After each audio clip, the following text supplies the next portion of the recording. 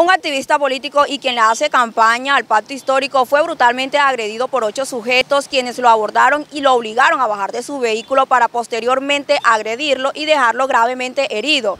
El hecho se registró en el barrio Sicarares de Valledupar. La víctima se trata de Luis Cote Cortés, quien se encuentra siendo atendido en el hospital 450 años. Sí, fue en el barrio Sicarares, a las alturas del Parque Rojo. Fue como a las siete y media de la noche. Eh, y pues la verdad no, no tenemos ni idea de cuál es el móvil, solo que ya había recibido unas amenazas anteriormente y como le decía, seis personas más del pacto histórico también recibieron la misma amenaza, pero mi hermano fue el único que denunció. ¿Cómo lo, abordan a él? ¿Iba a dónde? Él, él, sale de una de las casas del barrio y se monta en el carro y no, no termina de, de arrancar el carro cuando una moto lo cerca por la derecha, otro por la izquierda que lo, obligan a detener el vehículo. Él se baja del carro y enseguida empiezan a darle golpes.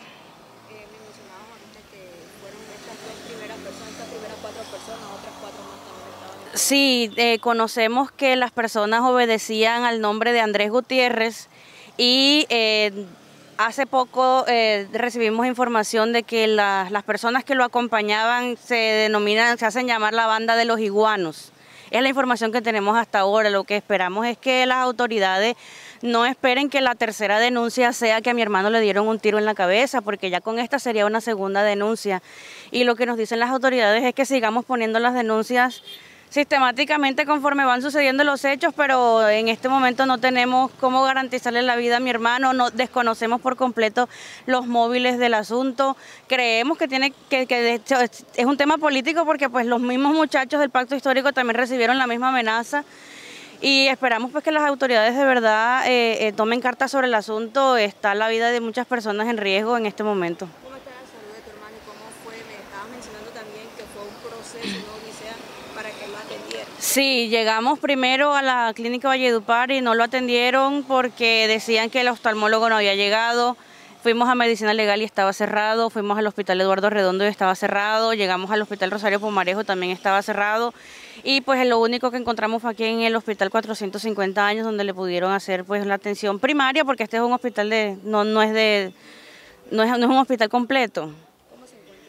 Él en este momento no ve por el ojo derecho, está pues simplemente le han ido aplicando medicamentos para el dolor. Esperamos a ver si de pronto en el transcurso de la mañana le hacen un traslado a, a un hospital o a una clínica que tenga un poco más eh, servicio de salud y que le traten el tema del ojo porque ayer todos los ojos los tenían sangrentados. Amaneces mucho antes que el sol y conviertes la tierra en frutos y el fruto en futuro. Agroseba Almacén agropecuario.